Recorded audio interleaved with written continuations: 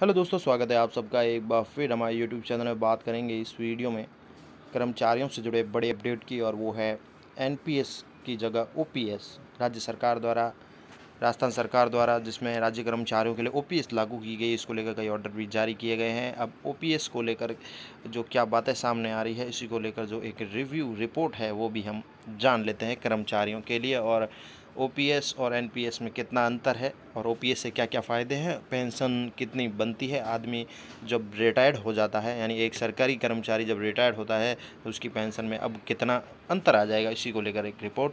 चलिए देखते हैं कि पहले एनपीएस के तहत जो अधिकतम पेंशन बनती थी, कर्मचारियों के लिए पाँच से छः हज़ार रुपये ही मिल रही थी। अब नवीन पेंशन जो कह सकते हैं, ओल्ड पेंशन स्कीम नवीन पेंशन के स्थान पर ओपीएस जिसे कहते हैं अब बारह हज़ार से एक लाख तक की भी पेंशन बन सकती है। ओपीएस लागू होने के पश्चात प्रदेश के सरकारी अधिकारी, कर्मचारियों और उनके आश्रितों को एनपीएस न्यू पेंशन स्कीम में अधिकतम रिटायर्ड होने पर पाँच से छः हज़ार रुपये प्रति माह ही पेंशन मिल रही थी। अब पुरानी पेंशन योजना, यानी ओपीएस का विकल्प चुनने पर सेवानिवृत्त चतुर्थ श्रेणी कर्मचारी को भी करीब बारह हज़ार रुपये और राजस्थान प्रशासनिक सेवा से सेवान्वित होने वाले अधिकारी को लगभग एक लाख रुपये प्रतिमा पेंशन मिल सकेगी, क्योंकि ओपीएस लागू किया जा रहा है। ओपीएस में यह भी प्रावधान है कि पेंशन के लिए अधिकारी व कर्मचारियों से कोई कटौती भी नहीं होगी।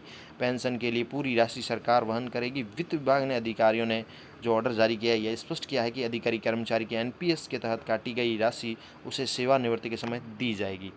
तो वित्त विभाग के ऑर्डर में ये स्पष्ट कहा गया है कि जो एनपीएस में पैसे कट गए हैं कर्मचारियों के तो उनके ऑर्डर में ये क्लियर किया गया है। अधिकारी, कर्मचारी की एनपीएस के तहत काटी गई राशि उनके मृत्यु के समय या सेवानिवृत्ति के समय दी जाएगी, जिस पर राज्य सरकार जीपीएफ पर मिलने वाली दर से भी ब्याज भी देगी। यानी जीपीएफ का जो ब्याज होगा, वर्तमान समय में चल रहा है, जो भी उस समय, उसके अनुसार राज्य सरकार जीपीएफ पर मिलने वाली दर के हिसाब से ब्याज देगी। एनपीएस के तहत जमा पूरी राशि की वापसी का मुद्दा एनपीएस से संबंधित केंद्रीय एजेंसी और राज्य सरकार के बीच चलता रहेगा।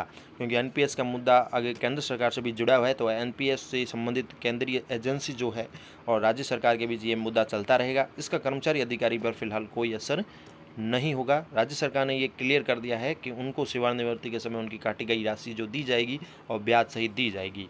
National movement for old pension scheme की राजस्थान इकाई की ओर से 22 मई को जयपुर में जो है दृढ़ संकल्प पेंशन सम्मेलन, धन्यवाद सभा तथा पेंशन योद्धा सम्मान समारोह का आयोजन भी किया जा रहा है।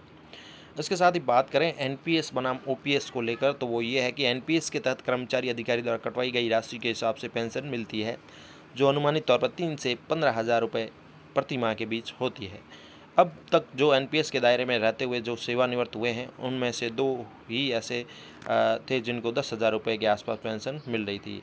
शेष अधिकांश पेंशनरों को पाँच से छः हज़ार रुपये के आसपास ही पेंशन मिल रही थी।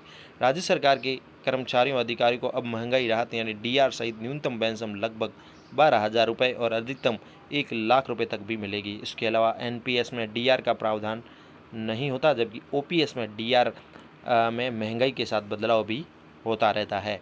ये एनपीएस और ओपीएस की बात है। साथ ही बात करें तो संगठन के अध्यक्ष ने बताया कि समारोह में N P S O N M O P S के राष्ट्रीय अध्यक्ष विजय कुमार सहित राष्ट्रीय कार्यकारिणी और पच्चीस राज्य संगठनों के प्रदेश अध्यक्ष और सचिव भी शामिल होंगे।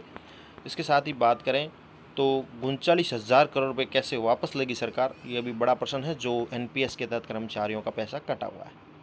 तो राजस्थान विधानसभा में उपनेता प्रतिपक्ष राजेंद्र राठौड़ ने सवाल उठाया है कि राज्य सरकार एनपीएस के तहत सरकारी बॉन्ड्स, म्यूचुअल फंड में निवेश किए गए उनचालीस हज़ार करोड़ रुपए की राशि को पेंशन, निधि विनियामक और विकास प्राधिकरण से वापस कैसे लाएगी? क्योंकि इस राशि को लेकर अब तक राज्य सरकार और प्राधिकरण के बीच कोई समझौता भी नहीं हुआ है।